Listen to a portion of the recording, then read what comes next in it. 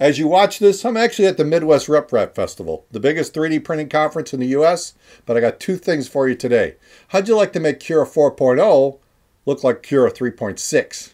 I'll show you that, plus I'm going to officially release my Cura profiles. A lot of people have asked for them. They're ready to go.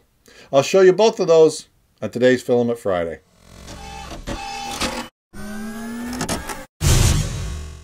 This episode of Filament Friday is brought to you by these Patreon supporters. In my previous Filament Friday video, I introduced Cura 4.0. I took you around all the features, but the biggest complaint is people don't like this drop-down settings menu. They want it to look like 3.6, the previous version. Well, if you go up to Marketplace and then Plugins and scroll down to Sidebar GUI, it'll give you just that. Click on it, and this will make 4.0 look like 3.6, or at least pretty close. Click on Install, and once it starts to install, it's going to pop up this license agreement, incredibly long. Read through it if you want, then click Accept. And then you have to quit Cura and restart it for it to take effect. And when it restarts, this is Cura 4.0, but it looks a lot like Cura 3.6. And you've got your normal view, your x-ray view up here at the top, but they're radio buttons instead of a drop-down menu. You've got your printer selected, your profile, all up here at the top, just like Cura 3.6. All the settings are permanently on the side. Slice button at the bottom. When you click on slice, you still have the same preview feature that you do in 4.0. So you have this button at the bottom, but everything else looks very similar to 3.6. But then at the top, you've also got the preview button. Now the radio button, the x-ray is right here. You click on it, you get your x-ray view, just like you did before. No separate menu or sub-menu like 4.0. And then when you click preview, you automatically get the color menu here, showing you all the different features. The slider is right here on the right and the animation on the bottom, just like 3.6. I think this is an awesome plugin because it gives you the option.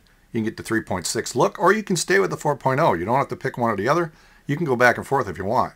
All the other features such as the scripts, that's the same little wrench shows up.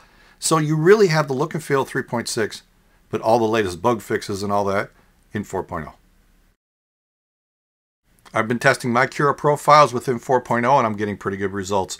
In fact, I beta tested it through my Patreon supporters, got some great feedback, so I'm ready to release my profiles. A lot of people have asked for them. So if you download them, there'll be a link in the description below to do that. Go to Settings, Profile, Manage Profiles, and this menu will come up. Click on Import to import the profiles, and wherever you downloaded them, there should be four files, a 0.12, a 0.2, a 0.28, and then a Ninja Flex. And this is really designed for the Arc extruder if you installed that on your machine, which I showed in a previous video. So I'm going to just remove it here because I don't need two copies. And then they're ready to be used within Cura 4.0. So I'm really happy with the results I'm getting. There's always improvements you can make and you may have to tweak it a little bit yourself for your machine or your liking. I'm not saying they're absolutely perfect, but they're a great starting point. Here's a really quick example. This is my CHEP calibration cube, upsized 150%. I sliced it with my 0.02 layer height, and here's the results. Now those lines on the side I'm working on, that's something in my machine, but you can barely see it. The camera picks them up, but other than that, this looks really good. A link to the profiles will be in the description below if you want to download them. So that's it for this week. If you like what I'm doing here, maybe check out some of the videos that are popping up. Want to help support the channel, Patreon, or the affiliate links, it all helps a lot. If nothing else, click on that CHEP logo and subscribe. I'll see you next time right here at Filament Friday.